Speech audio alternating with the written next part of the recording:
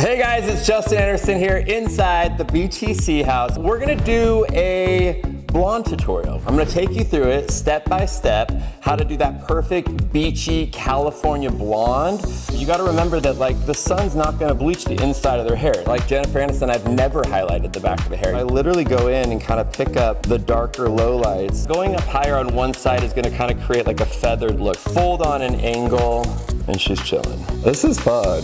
Kind of slightly paint up a little bit higher every other one.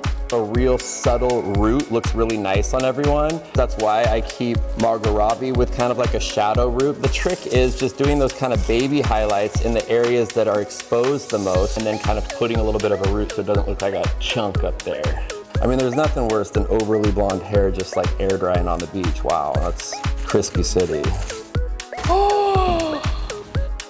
I like that one.